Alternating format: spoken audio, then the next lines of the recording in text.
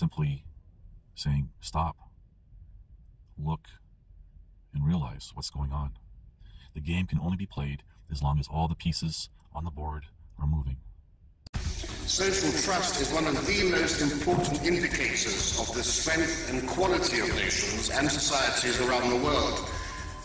It's also associated with many outcomes, including happiness and life satisfaction positively, and suicide negatively, and it demonstrates time and again that increased ethnic diversity is the strongest cause of a decline in social trust, stability, and happiness.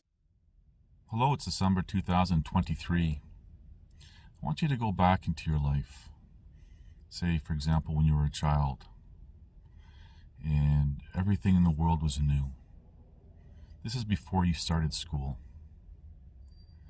And you're learning whatever it is that you're learning from those around you, primarily family. And you're just like a sponge absorbing information. And you didn't even realize it. There could be subtleties of information that is not even accurate with no fault of anyone. It's just, that's just the way the world is. Then you start kindergarten and you start to learn.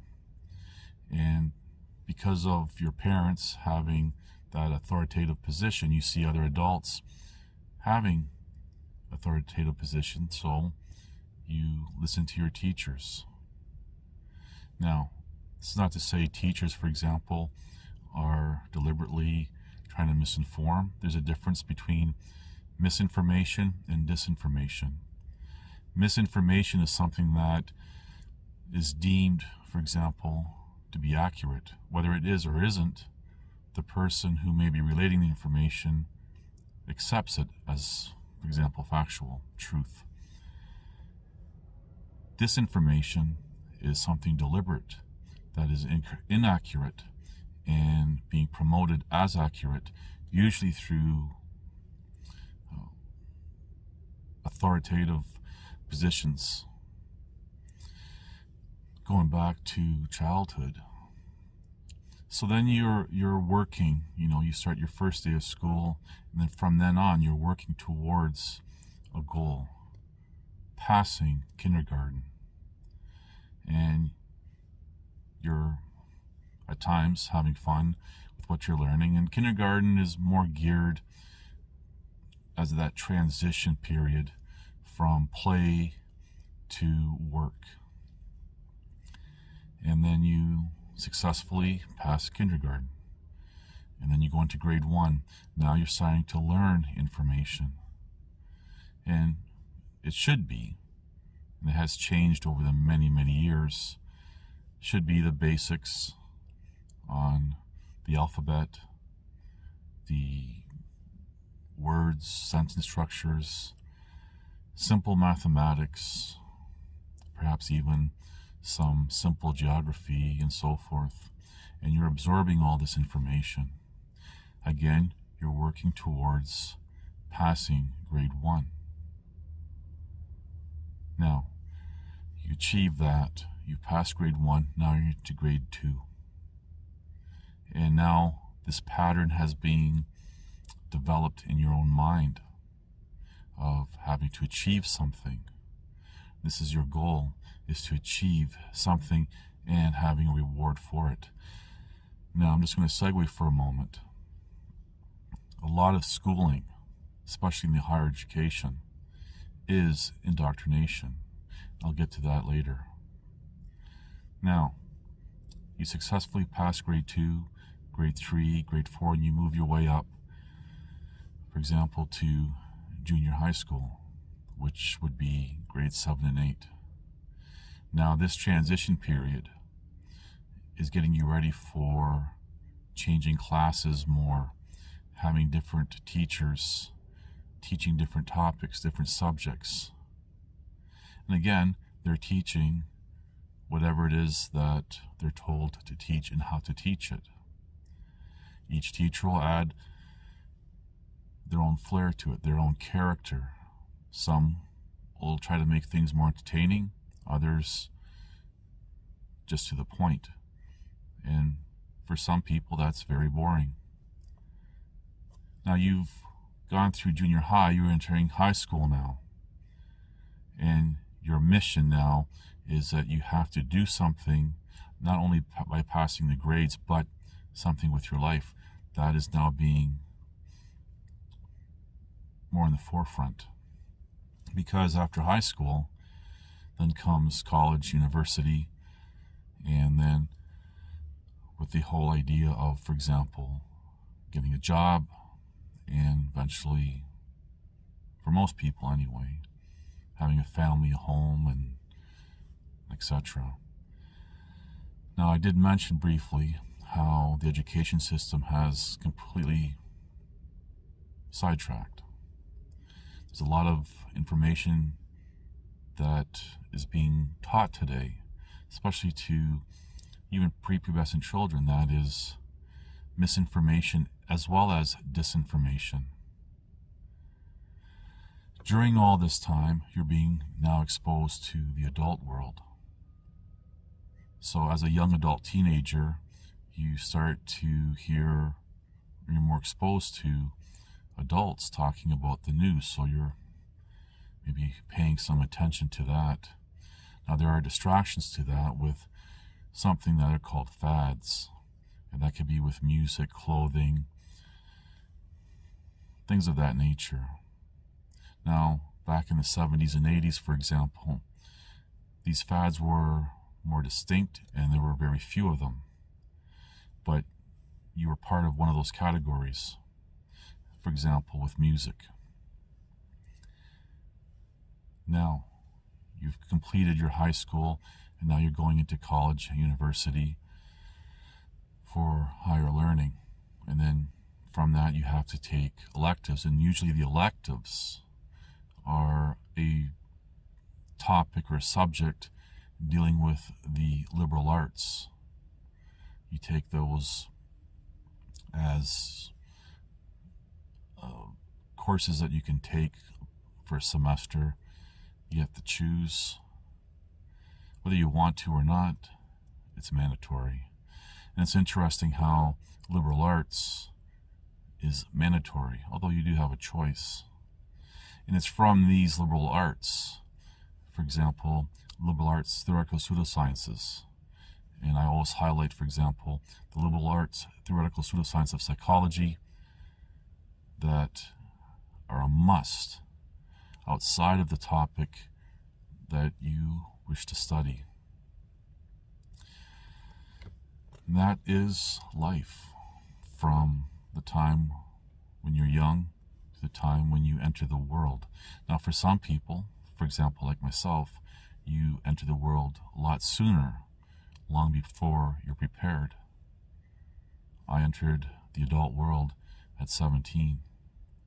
I had no one to guide me, and I had to learn everything through the school of hard knocks. And perhaps, I know when I was younger, I used to say that that was the best education because it's reality, kind of like a baptism by fire. It's a hard way to enter the world, but nevertheless, for a lot of people, that's how you enter the adult world young. There's a lot of people who don't have to experience that. For example, they have a good solid family life, they stay at home, and a lot of these people, they never grow up. They may grow up in some ways, for example, knowing responsibility, but inside they're still maintain that as a descriptive childlike innocence. Now, over the years, for example, I've talked about not being consumed by anything on any topic. And I've also been introducing the topic of everything being false in this world. And all, all this ties into, for example, the, from the time when you were, example, a toddler through your education system into your adulthood. Now, I'm going to first discuss not being consumed. Something, again, that I've talked about, even dedicated a few videos discussing this in more in depth. How do you know when you're consumed by something? Well, can be consumed as an addiction. I've mentioned, for example, how a lot of people are addicted to negativity. And they don't even realize it. And it is an addiction. And negativity, whether it be internal or external, they're still addicted to it. A lot of people we see in this world, they thrive on conflict. And for them, their life doesn't seem right without it. And they don't even realize it.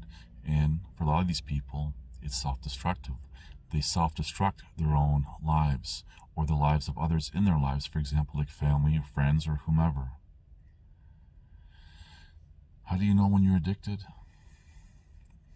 For example, do you find yourself binge watching or subscribing to channels or groups that keep reiterating the same thing over and over again? It could be something legitimate. For example, you can have someone's video efforts on on a particular topic that is accurate, truthful, maybe controversial, but there's truth there. But you keep watching because there's an addiction. And then we see sometimes there's conflicts and so forth on, in, um, on certain topics, and it's brought out in uh, channels, and people thrive on that because there's an addiction of that conflict. So that's how you know when you're addicted to something, is when you have that need, and you may not even realize it, to keep following a particular topic. And the topic could be positive or negative, but it's still an addiction.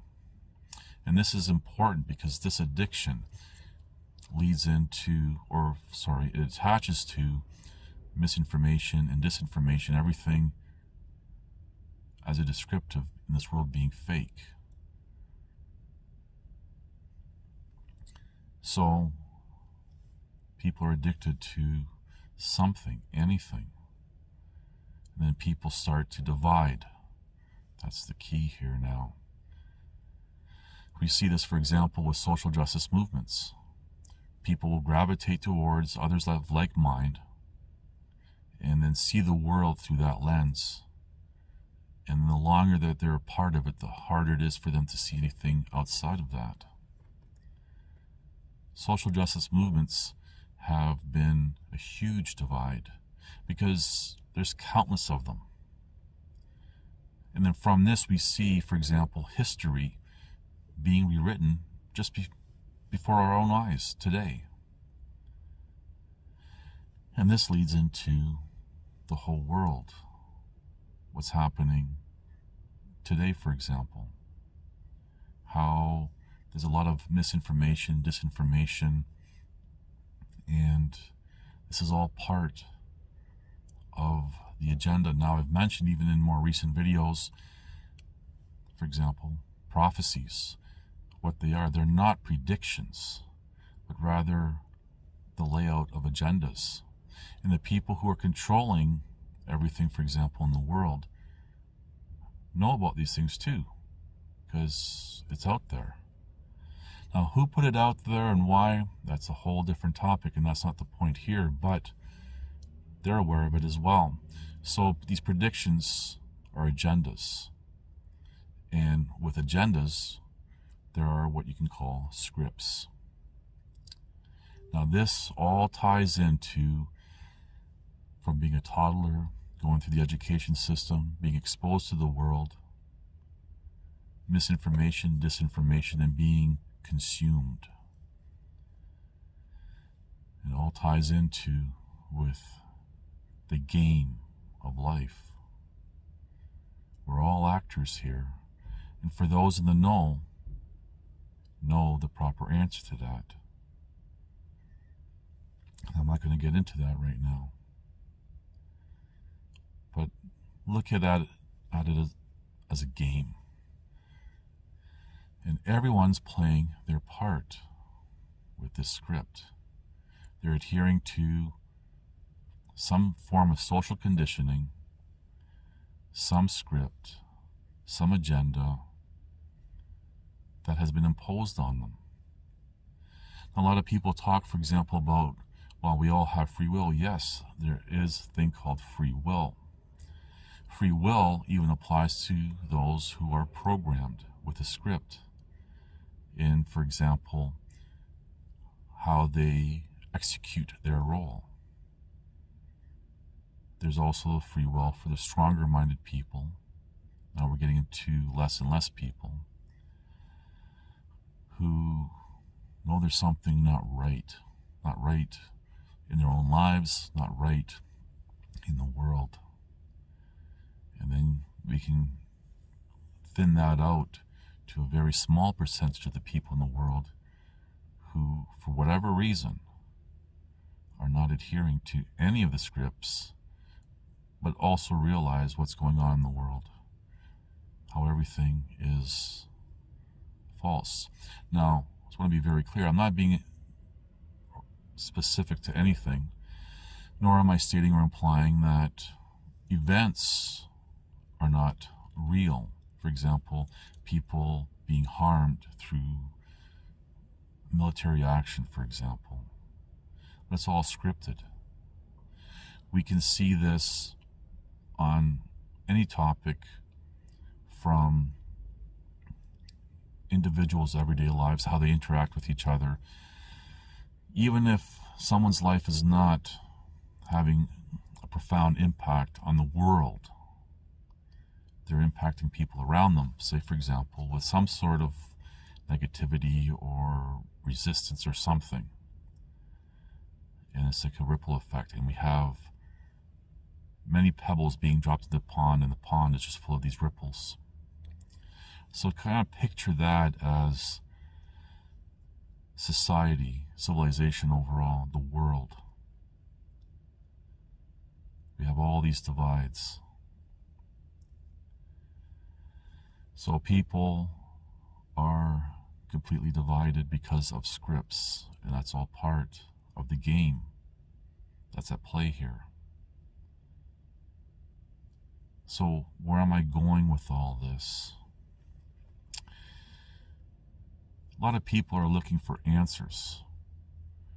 They know something's not right. They're frustrated, even, for example, bitter. It could be anything from false accusations, which is part of a script. Certain people will falsely accuse others because they're programmed to. We see, for example, and I'm just using this as an example, something that a lot of people are much, very much aware of, how police officers can react, interact with the average person, overreacting, taking things beyond insanity which, for example, leads to wrongful convictions. And the whole story behind a wrongful conviction to convict someone who's innocent all part of a script. We can even go to the world stage, to the theater of war. And we see a lot of misinformation, disinformation, false footage, being used even from video games, and I've mentioned this in recent videos as well. All these things are being scripted. And for most people, they don't even realize it, whether it be, again, uh, police, the justice system, even politics. And the last example that I used, the war machine, people who are part of that you really have to ask yourself, whoever's watching in my audience here, why would someone, and I'm just using this as an example, want to learn combat? Why would they want to go into combat? if you really dig deep, you'll see that it's part of some sort of programming throughout someone's life, whether it be a short period of time or someone older who's had a lo- many years behind them, decades even. So, what's the solution?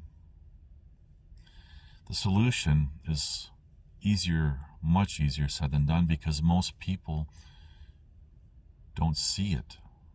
They don't see that they're playing a role, they're part of a script, they've been manipulated, socially conditioned to act and behave in a certain way. And again, yes, the free will part does fit in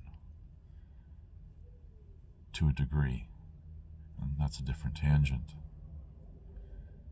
The solution is simple. Again, easier said than done. And it is to go against, for example, whatever is driving you. So, say you're part of a social justice movement, or let's just bring it right back to in a more very recent video where I'm talking about tyranny starting at home in youth. We have that example all the way to the world stage. Just have to go against everything that really sits with you emotionally, to detach from it all, step back and look around. It's hard. Now, you could, for many people, for example, you could break away from it and go, wow, but then you just slip right back in. And then we have the addiction part because the addiction to whatever it is will bring you back in. The emotional content may bring you back in. Peer pressure may, may bring you back in. Social conditioning can bring you back in. It takes a very strong character just to say enough. To stop and look around. Look around at your own personal actions. This begins in each person, each person's personal life. Each person, you, may not be able to stop something on the world stage. But keep in mind the world stage is comprised of individuals. This is not stating or implying by no means that there's some sort of great revolution or anything else. It's simply saying, stop, look, and realize what's going on. The game can only be played as long as all the pieces on the board are moving. Once that happens, when they stop, well, the game can't be played anymore.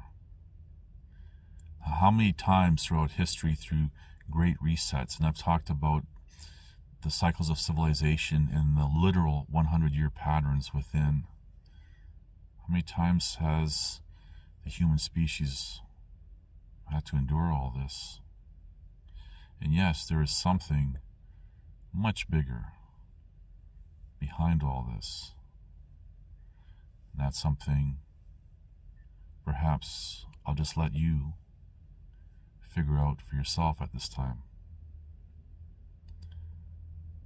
Just things to think about. Anyway, thank you for watching. Please like, subscribe, comment, and share.